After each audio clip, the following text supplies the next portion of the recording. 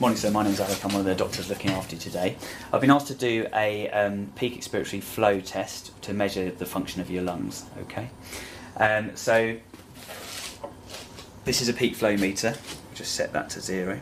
What I'd like you to do is first of all stand up for me um, and stand nice and tall. And in a moment, I'm going to get you to uh, hold the peak flow meter, being careful that you don't put your fingers over where the dial is. Uh, make a nice tight seal around the mouthpiece with your lips. Take a really deep breath in and then breathe out as fast as you can into the peak flow meter. Okay. Happy? Yeah.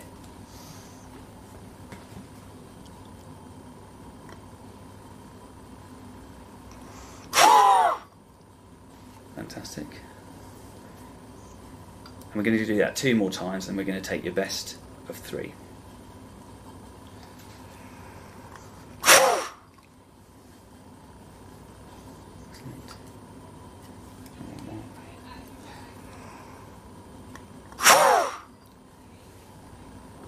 Excellent.